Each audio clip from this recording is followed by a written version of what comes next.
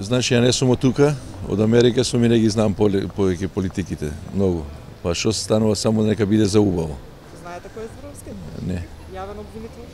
Не знам, не, не се разбира многу од политиката, се дојавме од Америка, сум 44 години таму и не, не ги знам многу политиките, па како пасува на Македонија, така нека се прави. Вие ќе поддржите? Ја поддржувам сега само да биде добро за Македонија.